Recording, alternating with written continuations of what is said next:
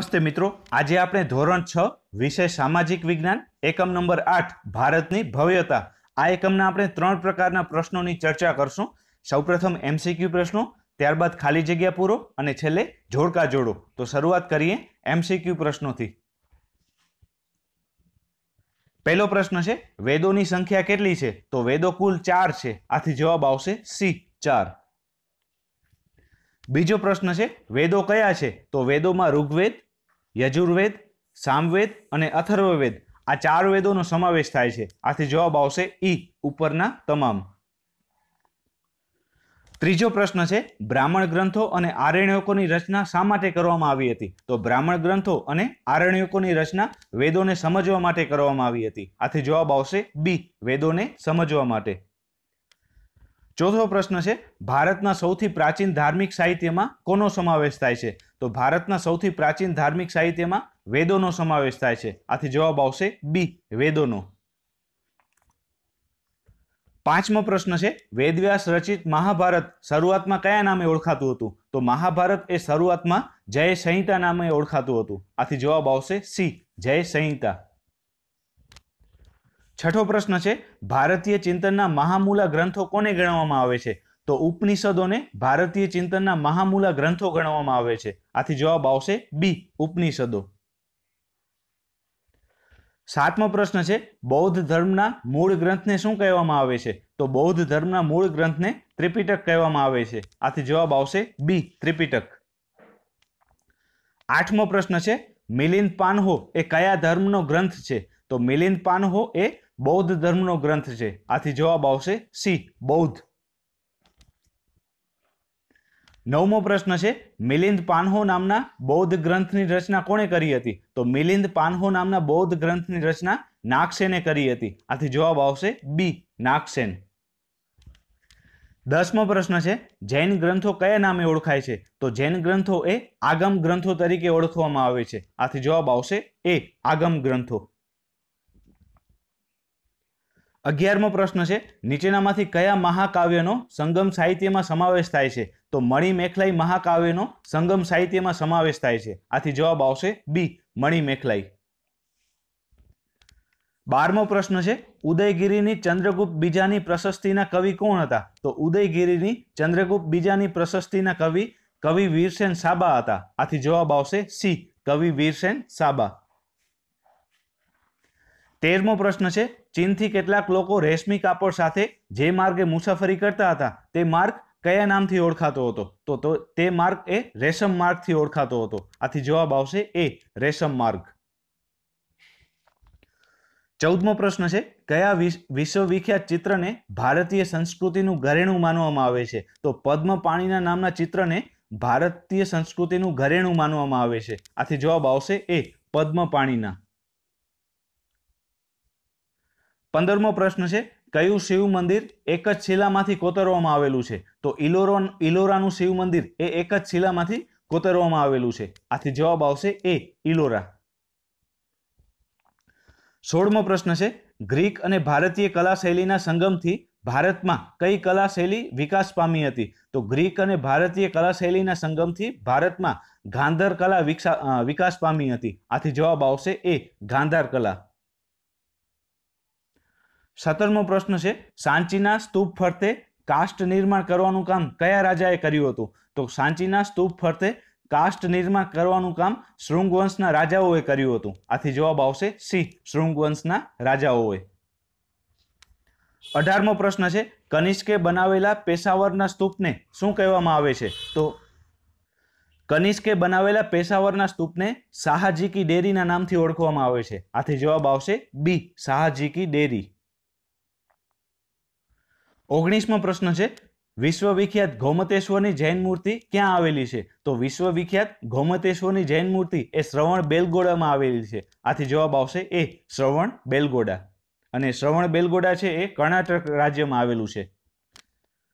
વીસમો પ્રશ્ન છે, ગાંધાર ક્ષેત્રમાં કયું મહાન શૈક્ષણિક તીર્થસ્થાન વિકાસ પામ્યું હતું? તો ગાંધાર ક્ષેત્રમાં તક્ષશિલા નામનું મહાન શૈક્ષણિક તીર્થસ્થાન વિકાસ પામ્યું હતું. આથી જવાબ આવશે સી, તક્ષશિલા. એકવીસમો પ્રશ્ન છે, પારાની ભસ્મ બનાવીને તેને ઔષધિ તરીકે વાપરવાની ભલામણ કોણે કરી હતી? તો પારાની ભસ્મ બનાવીને તેની ઔષધિ તરીકે વાપરવાની ભલામણ આચાર્ય નાગાર્જુને કરી હતી. આથી જવાબ આવશે સી, આચાર્ય નાગાર્જુન.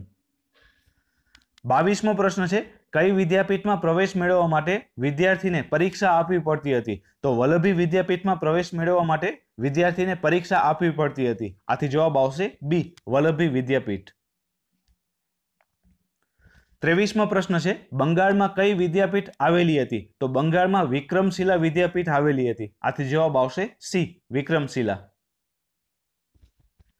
ચોવીસમો પ્રશ્ન છે, પંચમાર્ક સિક્કા કયા સમયના સિક્કા છે? તો પંચમાર્ક સિક્કા એ ઈસવીસન પૂર્વે પાંચમી સદીના સિક્કા છે. આથી જવાબ આવશે બી, ઈસવીસન પૂર્વે પાંચમી સદીના. પચીસમો પ્રશ્ન છે, સૌથી શ્રેષ્ઠ સિક્કા કયા સમયના જોવા મળે છે? તો ગુપ્ત વંશના સિક્કા સૌથી શ્રેષ્ઠ સિક્કા હોય છે. આથી જવાબ આવશે સી, ગુપ્ત વંશના સિક્કા છવ્વીસમો પ્રશ્ન છે, નીચેનામાંથી કઈ શિલ્પકલા સંપૂર્ણપણે ભારતીય છે? તો મથુરા કલા એ સંપૂર્ણપણે ભારતીય છે. આથી જવાબ આવશે એ, મથુરા કલા. સત્યાવીસમો પ્રશ્ન છે, રામાયણની રચના કોણે કરેલ છે? તો રામાયણની રચના વાલ્મીકીએ કરેલી છે. આથી જવાબ આવશે એ, વાલ્મીકી. અઠ્યાવીસમો પ્રશ્ન છે, ઉપનિષદોની સંખ્યા કેટલી છે? તો ઉપનિષદોની સંખ્યા એકસો આઠ છે. આથી જવાબ આવશે સી, એકસો આઠ.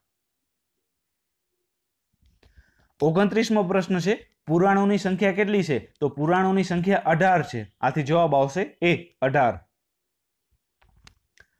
ત્રીસમો પ્રશ્ન છે, જૈન ધર્મના આગમ ગ્રંથોની સંખ્યા કેટલી છે? તો જૈન ધર્મના આગમ ગ્રંથોની સંખ્યા બાર છે. આથી જવાબ આવશે બી, બાર.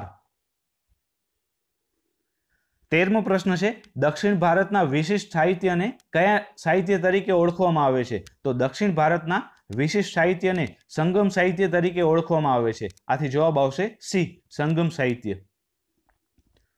બત્રીસમો પ્રશ્ન છે, અષ્ટાધ્યાય ગ્રંથ સંસ્કૃત ભાષાનો સર્વશ્રેષ્ઠ વ્યાકરણ ગ્રંથ છે. તેની રચના કોણે કરી છે? તો અષ્ટાધ્યાય ગ્રંથની રચના પાણીનીએ કરી છે. આથી જવાબ આવશે એ, પાણીની. તેત્રીસમો પ્રશ્ન છે, ગુજરાતમાં છઠ્ઠીથી સાતમી સદી દરમિયાન કઈ મહાન વિદ્યાપીઠ હતી? તો ગુજરાતમાં છઠ્ઠી થી સાતમી સદી દરમિયાન વલ્લભી વિદ્યાપીઠ હતી. આથી જવાબ આવશે બી, વલ્લભી વિદ્યાપીઠ. ચોત્રીસમો પ્રશ્ન છે, નાલંદા વિદ્યાપીઠ ક્યાં આવેલી છે? તો નાલંદા વિદ્યાપીઠ એ બિહારમાં આવેલી છે. આથી જવાબ આવશે એ, બિહાર. પાંત્રીસમો પ્રશ્ન છે, ગુપ્ત સમયના સિક્કાઓ મુખ્યત્વે કઈ ધાતુમાંથી બનાવેલા હતા? તો ગુપ્ત સમયના સિક્કાઓ મુખ્યત્વે સોનાની ધાતુમાંથી બનાવેલા હતા. આથી જવાબ આવશે સી, સોનાની ધાતુમાંથી. છત્રીસમો પ્રશ્ન છે, પ્રાચીન સમયમાં ઉત્તર ભારતમાં ગામનો વડો કયા નામે ઓળખાતો હતો? તો ગામનો વડો એ ગ્રામ ભોજક તરીકે ઓળખવામાં આવતો હતો. આથી જવાબ આવશે એ ગ્રામ ભોજક સાડત્રીસમો પ્રશ્ન છે કઝાર અને તંઝર એ કઈ ભાષામાં લખાયેલ? બૌદ્ધ ધર્મની સંહિતા છે. તો કઝાર અને તંજર એ તિબ્બત ભાષામાં લખાયેલ છે. આથી જવાબ આવશે બી, તિબ્બત. આડત્રીસમો પ્રશ્ન છે. બૌદ્ધ ધર્મના મૂળ ગ્રંથો ત્રિપિટકમાં શાનો સમાવેશ થાય છે? તો ત્રિપિટકમાં મુખ્યત્વે સુદ પીટક વિનય પીટક અને અભિધમ પીટક આ ત્રણેયનો સમાવેશ થાય છે. આથી જવાબ આવશે ડી, ઉપરના તમામ. ઓગણચાલીસમો પ્રશ્ન છે. આગમો આચાર અંગ અને વૈતાલિક, દશાવૈતાલિક એ કયા ધર્મના ગ્રંથો છે? તો આગમો આચાર અંક અને વૈતાલિક, દશાવૈતાલિક એ જૈન ધર્મના ગ્રંથો છે. આથી જવાબ આવશે બી, જૈન ધર્મ. ચાલીસમો પ્રશ્ન છે, જૈન ધર્મનું પ્રાચીન સાહિત્ય કેટલા પર્વોમાં વહેંચાયેલું છે? તો જૈન ધર્મનું પ્રાચીન સાહિત્ય એ ચૌદ પર્વોમાં વહેંચાયેલું છે. આથી જવાબ આવશે સી, ચૌદ પર્વ. એકતાલીસમો પ્રશ્ન છે, જૈન ધર્મનું પ્રાચીન સાહિત્ય કેટલા અંગમાં વહેંચાયેલું છે? તો જૈન ધર્મનું પ્રાચીન સાહિત્ય એ બાર અંગોમાં વહેંચાયેલું છે. આથી જવાબ આવશે સી, બાર. બેતાલીસમો પ્રશ્ન છે, ના નાલંદા વિદ્યાપીઠના આચાર્ય કોણ હતા? તો નાગાર્જુન એ નાલંદા વિદ્યાપીઠના આચાર્ય હતા. આથી જવાબ આવશે સી, નાગાર્જુન.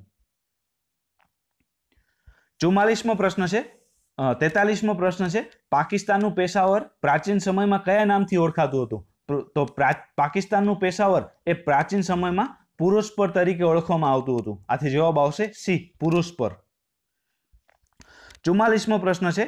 હિન્દુ ધર્મનો સૌપ્રથમ કાયદા ગ્રંથ કોને ગણવામાં આવે છે? તો મનુસ્મૃતિને હિન્દુ ધર્મનો સૌપ્રથમ કાયદા ગ્રંથ ગણવામાં આવે છે. આથી જવાબ આવશે એ મનુસ્મૃતિ.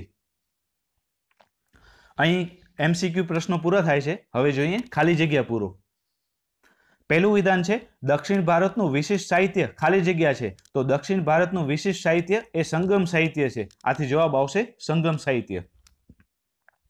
બીજું વિધાન છે, મહાજનપદ સમયમાં કુવા તરીકે ઓળખાતા ખાલી જગ્યા મળી આવ્યા છે. તો મહાજનપદ સમયમાં કુવા તરીકે ઓળખાતા વલયકૂપ મળી આવ્યા છે. આથી જવાબ આવશે વલયકૂપ. ત્રીજું વિધાન છે, વેદોને સમજવા માટે બ્રાહ્મણ ગ્રંથો અને ખાલી જગ્યાની રચના કરવામાં આવી છે. તો વેદોને સમજવા માટે બ્રાહ્મણ ગ્રંથો અને આરણ્યકોની રચના કરવામાં આવી છે. આથી જવાબ આવશે આરણ્યકો. ચોથું વિધાન છે, ખાલી જગ્યા અને ખાલી જગ્યા. આ બે મહાકાવ્યો પ્રાચીન ભારતીય સમાજ, સંસ્કૃતિ અને ધર્મનો ત્રિવેણી સંગમ છે. તો રામાયણ અને મહાભારત આ બે કાવ્યો પ્રાચીન ભારતીય સમાજ, સંસ્કૃતિ અને ધર્મનો ત્રિવેણી સંગમ છે. આથી જવાબ આવશે રામાયણ અને મહાભારત. પાંચમું વિધાન છે, રામાયણની રચના ખાલી જગ્યાએ કરેલી છે. તો રામાયણની રચના વાલ્મીકીએ કરેલી છે. આથી જવાબ આવશે વાલ્મીકી.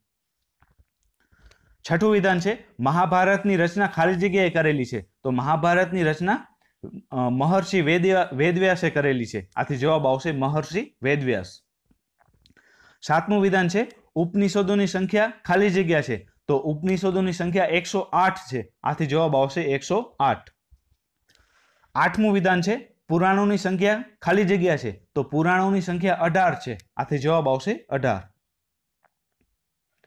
નવમું વિધાન છે, જૈન ધર્મના આગમ ગ્રંથોની સંખ્યા કેટલી છે? તો જૈન ધર્મના આગમ ગ્રંથોની સંખ્યા બાર છે. આથી જવાબ આવશે બાર. દસમું વિધાન છે, દક્ષિણ ભારતના વિશિષ્ટ સાહિત્યને ખાલી જગ્યા સાહિત્ય તરીકે ઓળખવામાં આવે છે. તો દક્ષિણ ભારતના વિશિષ્ટ સાહિત્યને સંગમ સાહિત્ય તરીકે ઓળખવામાં આવે છે. આથી જવાબ આવશે સંગમ.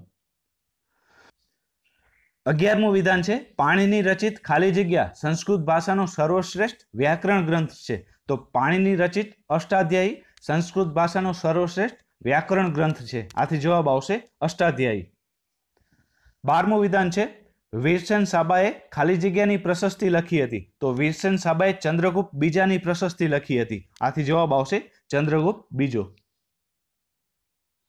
તેરમું વિધાન છે, ગ્રીક નાવિક ખાલી જગ્યાએ ભૂગોળ વિશે લખેલા ગ્રંથમાંથી ભારતના બંદરો વિશે માહિતી મળે છે. તો ગ્રીક નાવિક ટોલેમીએ ભૂગોળ વિશે લખેલા ગ્રંથમાંથી ભારતના બંદરો વિશે માહિતી મળે છે. આથી જવાબ આવશે ટોલેમી. ચૌદમું વિધાન છે, બુદ્ધની જાતક કથાઓ અને સાધનાને ખાલી જગ્યા ગુફાઓના ચિત્રોમાં વ્યક્ત કરવામાં આવેલ છે. તો બુદ્ધની જાતક કથાઓ અને સાધનાને અજંતા ઇલોરાની ગુફાઓમાં ચિત્રોમાં વ્યક્ત કરવામાં આવે છે. આથી જવાબ આવશે અજંતા ઇલોરા પંદરમું વિધાન છે, ગૌતમ બુદ્ધના નિર્વાણ બાદ તેમના જીવનની યાદગીરી રૂપે ખાલી જગ્યાનું નિર્માણ થયું હતું. તો ગૌતમ બુદ્ધના નિર્વાણ બાદ તેમના જીવનની યાદગુર, યાદગીરી રૂપે સ્તૂપોનું નિર્માણ થયું હતું. આથી જવાબ આવશે સ્તૂપો.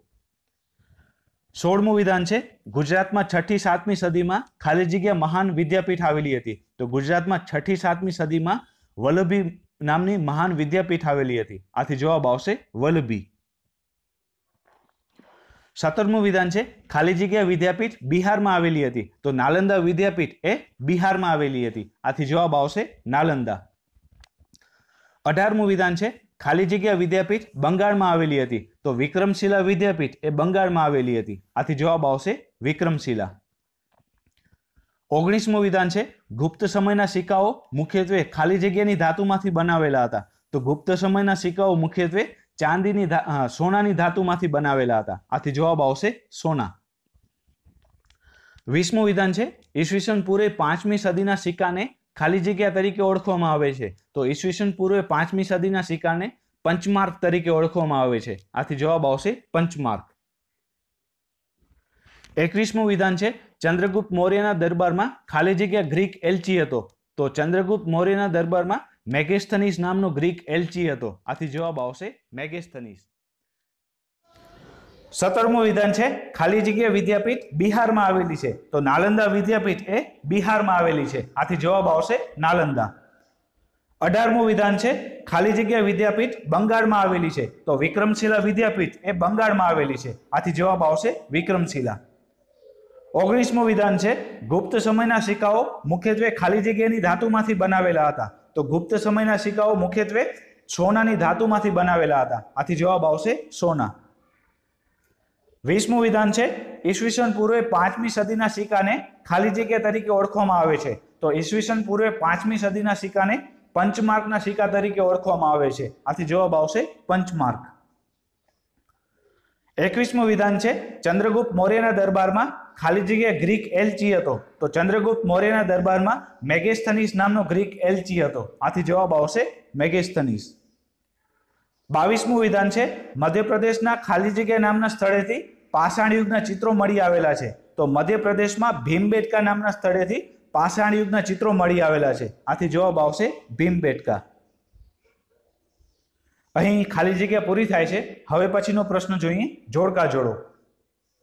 પ્રશ્ન એક, જોડકા જોડો. પેલું છે તક્ષશિલા વિદ્યાપીઠ. તો તક્ષશિલા વિદ્યાપીઠ એ ગાંધાર ક્ષેત્રમાં આવેલી હતી. આથી પહેલામાં આવશે બી. બીજું છે નાલંદા વિદ્યાપીઠ. તો નાલંદા વિદ્યાપીઠ એ બિહારમાં આવેલી હતી. આથી બીજામાં આવશે સી. ત્રીજું છે વિક્રમશિલા વિદ્યાપીઠ. તો વિક્રમશિલા વિદ્યાપીઠ એ બંગાળમાં આવેલી હતી. આથી ત્રીજામાં આવશે ડી, બંગાળ.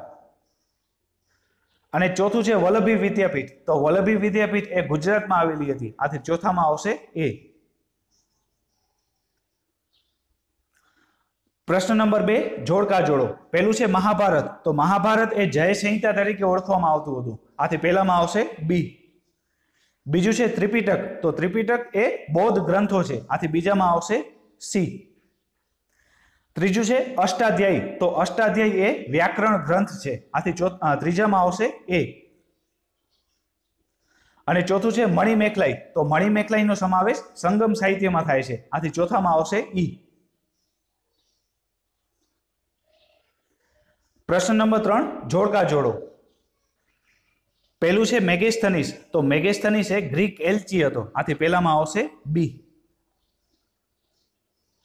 બીજું છે ફાયન તો ફાયન એ ચંદ્રગુપ્ત દ્વિતીયના સમયમાં આવનાર ચીની યાત્રી હતો. આથી બીજામાં આવશે ડી.